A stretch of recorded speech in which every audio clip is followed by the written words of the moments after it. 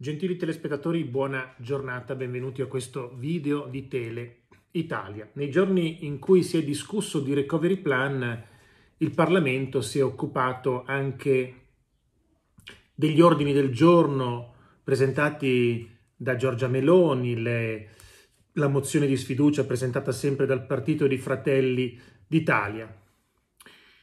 Il ministro per i rapporti con il Parlamento D'Inca è andato in Senato per rimediare a quello che stava per eh, succedere. Quindi, pur di scongiurare un problema ancora più serio, parla con il Premier Mario Draghi e con Giancarlo Giorgetti, il numero due della Lega.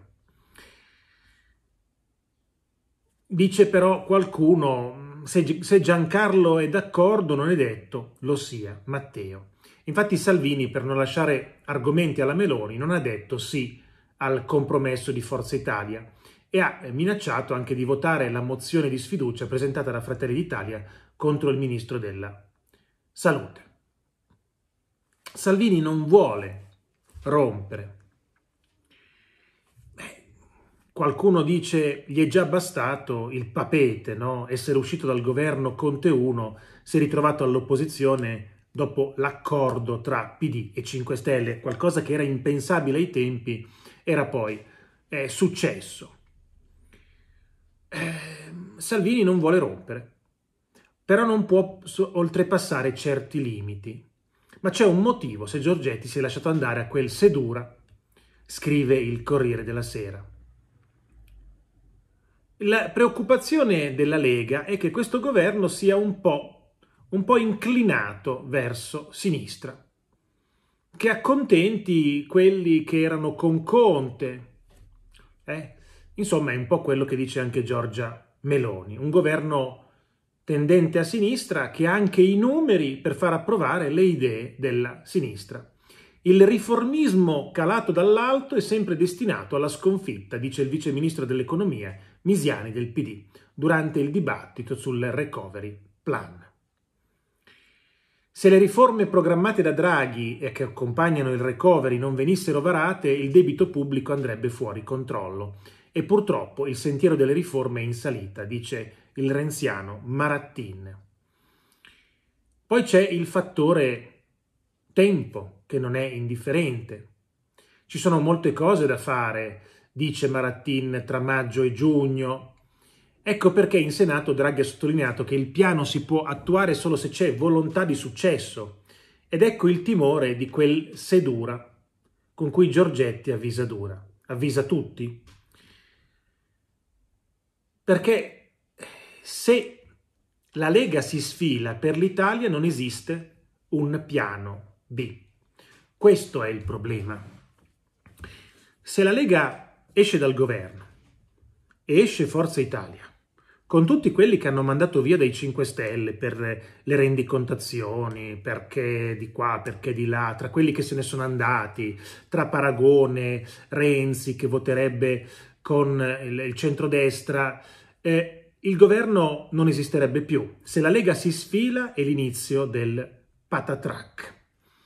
E così Giorgetti avvisa tutti, non esiste un piano B. Draghi sì, ha, fatto, ha avviato i vaccini, però il recovery plan non è solo mandarlo in Europa, poi ci vuole un personaggio come Draghi che deve togliere l'ideologia davanti agli occhi dei partiti e attuare tutto quello che c'è scritto nel recovery plan. Se dovesse esserci un presidente del Consiglio diverso da Draghi, che fa capo alla coalizione di centrodestra o alla coalizione di centrosinistra, l'altra parte politica ostacolerebbe qualsiasi cosa sul recovery plan. Eh, sta facendo male, così non va bene, così non lo facciamo. Impedirebbe, impedirebbe tutte le riforme e impedirebbe qualsiasi attuazione di questo piano, per far vedere che quella parte politica che ha vinto le elezioni non è capace. E questo andrebbe a danno di chi? A danno dell'Italia e degli italiani. Abbiamo visto troppe volte il paese andare avanti in questo modo. Eh? Ogni legislatura la parte politica che non ha vinto le elezioni ostacola l'altra, anche se sono magari cose giuste, vengono ostacolate. Una persona molto corretta sotto questo aspetto è Giorgia Meloni con Fratelli d'Italia. Giorgia Meloni ha questa caratteristica.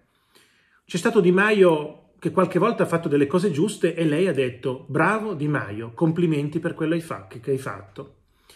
Ieri ha detto complimenti Draghi per, per la storia della Francia. E quindi eh, Giorgia Meloni ha questa capacità di eh, dire che chi ha ragione ha ragione, di fare i complimenti, non andare avanti col paraocchi ideologico, dire no, loro non hanno mai ragione.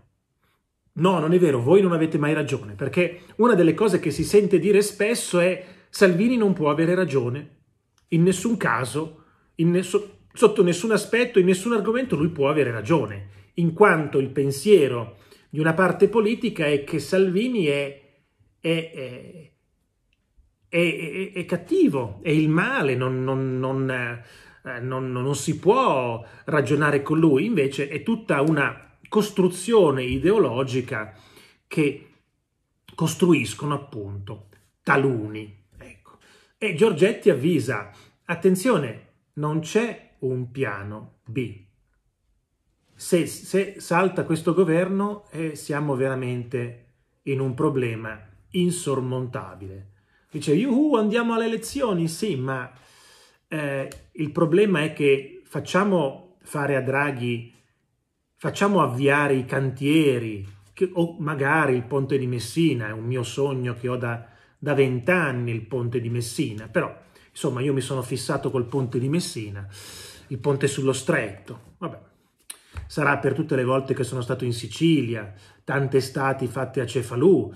Sapete dov'è Cefalù? Sicuramente c'era anche qualcuno di Cefalù. Io prendevo, io, i miei genitori prendevano una, una casa, si chiamava, io lo chiamavo ai tempi le case marrò, le case marroni. Cioè c'è un complesso, magari adesso hanno cambiato anche colore, non sono più le case marroni. Una volta erano le case marroni, erano quasi tutte in affitto, e noi stavamo lì un mese e mezzo, eh, un mese e mezzo in vacanza in Sicilia ogni anno, per tanti anni, abbiamo fatto per 6-7 anni, proprio nella spiaggia di Cefalù. La sera la passeggiata, nel corso il budello, ci fermavamo al bar da, da Enzo, da Se, Enzo Serio, mi sto sbagliando, forse mi sto confondendo i nomi, nella piazza della cattedrale, la cattedrale normanna, c'è un bar da Enzo, da Enzo Serio, da, adesso non mi ricordo bene. C'è questo bar con tutti i tavolini fuori, tutte le serate passate lì. Ogni tanto facevano anche qualche concerto. Così vi ho raccontato di qualche reminiscenza del, di un passato lontanissimo ormai. Io vi ringrazio e vi auguro buon proseguimento di giornata.